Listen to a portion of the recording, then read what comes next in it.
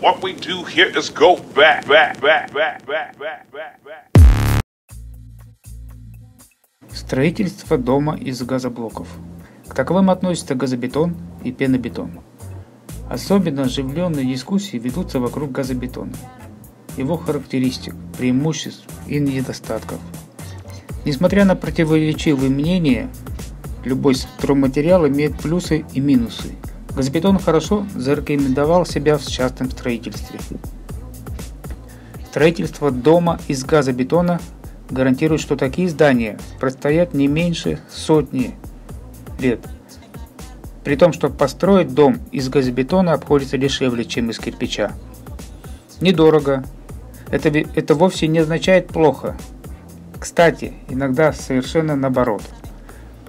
Конечно, такой показатель срока службы возможен только при соблюдении стандартов и нормативов. А за аксиому принята рекомендованная технология строительства дома из газобетона. Но если профессионалы руководствуются многолетним опытом работы, то новичкам желательно выполнить работу самостоятельно. Требуется пошаговая инструкция от А до Я, от фундамента до крыши.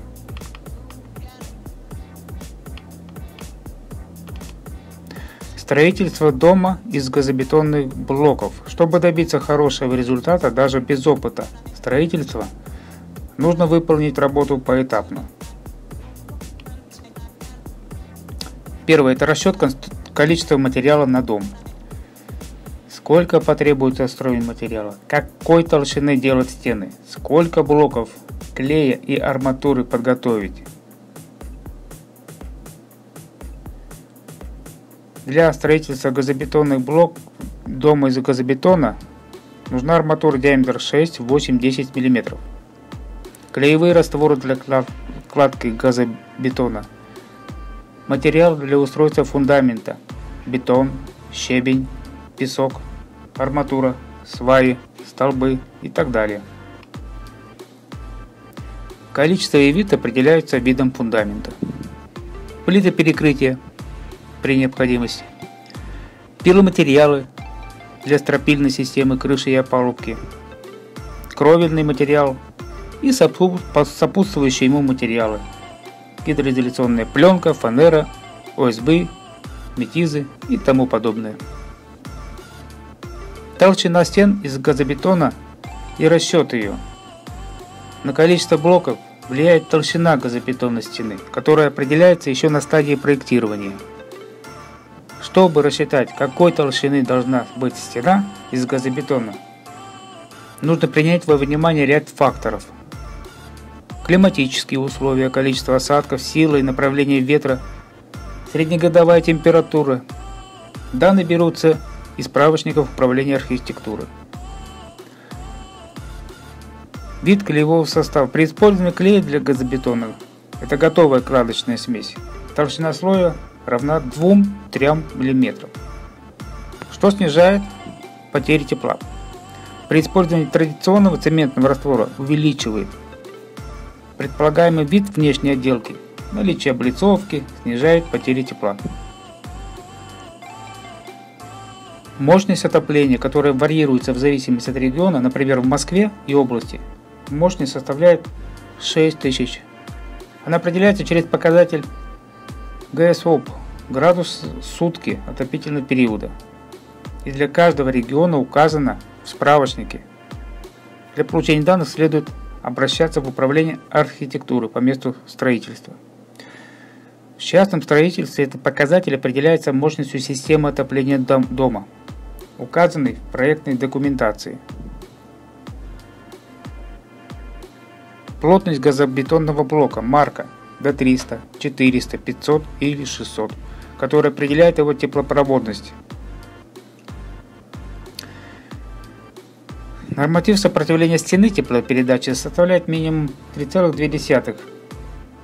Данные для определения в конкретном регионе можно почерпнуть из СНИП 23-02-2003.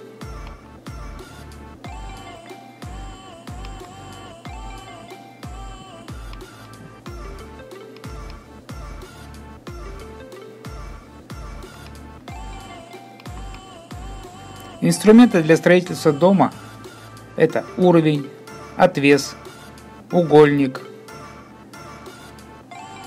пила ручная, предпочтительно с победитовыми наконечниками. В противном случае обычная быстро придет в негодность. Рубанок, терка или шлифовальная доска, киянка. Ручной штроборез для газобетона предназначен для прорезки канавок под арматуру, анкеров, разводки коммуникаций. Щетка для удаления пыли после штробореза. Сверла винтовые и перьевые емкость и дрель с насадкой, миксер для замешивания раствора, мастерок, шпатель для нанесения раствора или каретка для нанесения клея. Направляющий шаблон, угольник, упростит резку газобетонных блоков в дверных или оконных проемах, а также откосов и при формировании полукруглых элементов. Одновременно с расчетами и покупкой материала производится очистка места под будущую постройку – вывоз мусора, устранение деревьев, снятие при необходимости слоя почвы и тому подобное. Устройство фундамента под дом из газобетонных блоков – обязательное условие, определяющее долговечность функционирования постройки. Несмотря на легкость ячеистого бетона, не стоит думать, что подойдет любой фундамент. На выбор окажут влияние несколько факторов – Регион проживания определяет глубину промерзания грунта, состояние почвы, уровень залегания грунтовых вод, рельеф земельного участка под строительство, возможности владельца и тому подобное. Более подробный обзор типа фундамента для газобетона даст возможность принять взвешенное решение с учетом экономических и технических факторов.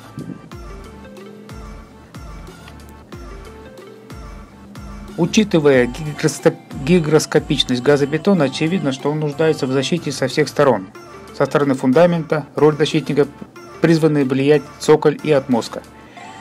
Несмотря на то, что минимальная высота цоколя фундамента над землей сочетается 500 мм при жесткой отмостке бетон-асфальт и 300 мм при мягкой отмостка из тротуарной плитки. В случае с газобетоном лучше увеличить этот параметр. Согласно отзывам пользователей, высота цоколя для дома из газобетона должна составлять 500-800 мм. При этом большинство считает, что бетонную отмостку вообще делать не стоит.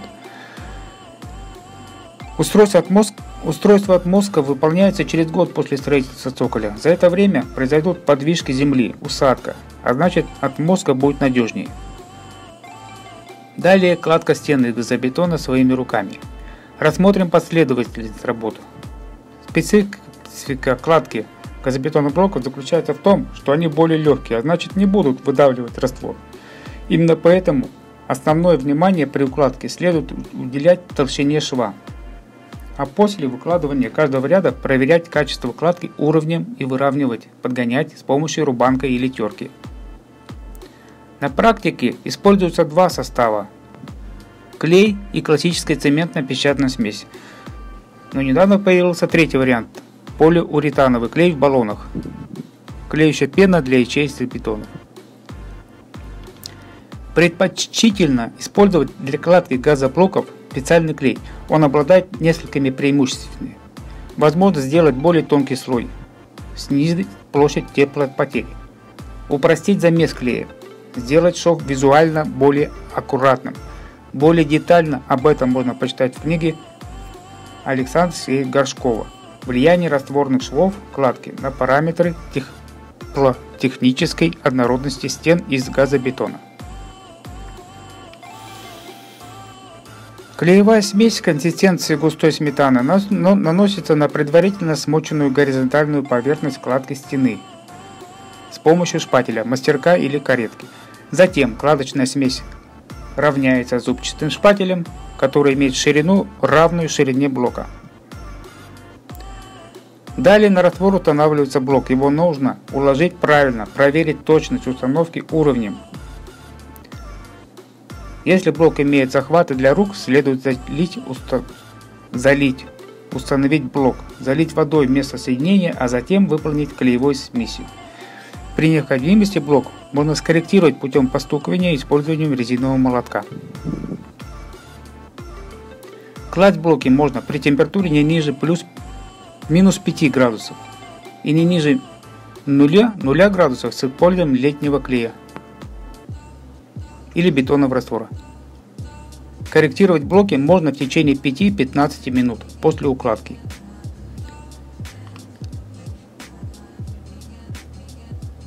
Межкомнатные перегородки выкладываются блоками толщиной 100-200 мм. Толщина блока накладывается отпечаток на выбор высоты перегородки. Используя блок толщиной в 100 мм, можно выложить стену высотой до 3 метров. В 200 мм высота возрастает до 5 метров. Перегородки выложены без перевязки, с несущими стенами крепятся к наружным стенам с помощью Т-образных анкеров. Кладка перегородок и внутренних стен из газоблока. Через, через сколько рядов производить армирование газобетона? Армирование делается для каждого четвертого ряда и подоконного ряда газоблока.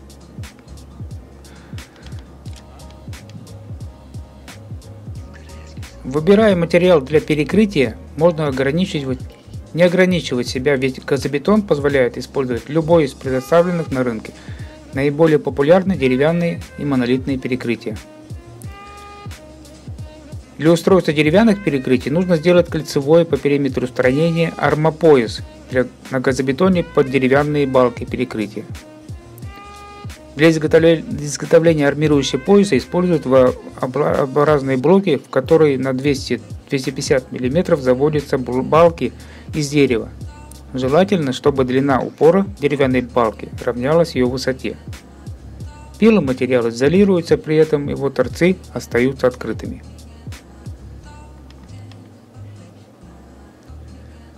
Стропильная система устраивается в зависимости от вида кровли и выбранного кровельного материала. Обязательным является правило крепления скатной кровли к газоблоку посредством маурлата.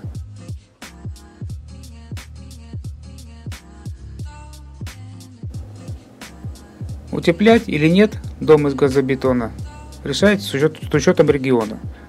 Толщина блока D300 375, 400 и возможностей.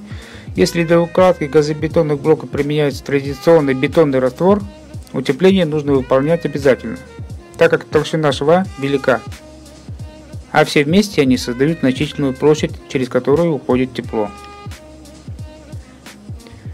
Внешняя отделка не является обязательным этапом, ведь сам по себе газобетон может без ущерба переносить воздействие влаги и других атмосферных явлений. Но в случае замерзания намокшего бетона он теряет свои свойства и может покрыться сеткой малоприятных трещин. Чтобы устранить вероятность развития таких событий, а также придать коттеджу более красивый внешний вид, прибегают к облицовке газобетонных стен снаружи. Это сайдинг или пластиковые панели, облицовочный кирпич или натуральный камень. Фасадная штукатурка – это наиболее популярный метод отделки дома из газобетона. Выбирая материал, важно, чтобы он обеспечил возможность вентиляции стен и обладал такими свойствами, как морозоустойчивость и водонепроницаемость.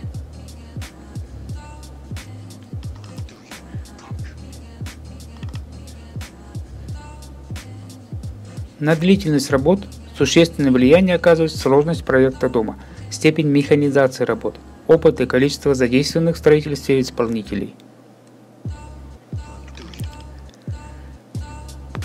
Итак, подготовившись теоретически, можно смело приступать к практике – строительству коттеджа или дома из газоблоков своими руками. До новых встреч! Спасибо за просмотр!